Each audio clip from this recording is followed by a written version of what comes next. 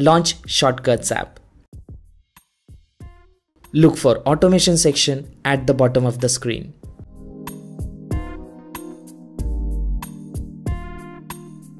Select Create Personal Automation. Scroll all the way down and select Arrive. Now make sure location based alerts are enabled in settings to make this automation run properly.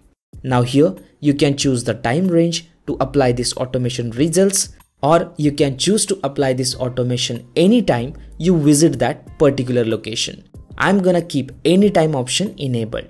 Tap on choose, enter the desired location,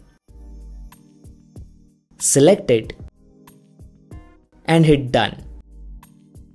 Now select next, select add action, search for do not disturb, select it and tap on this off button to toggle it on and select turned off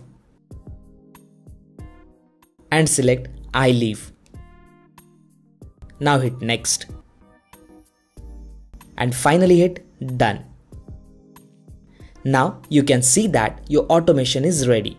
Now whenever you visit that particular location, your iPhone will automatically turn on do not disturb mode and when you leave that location, do not disturb mode will be turned off automatically.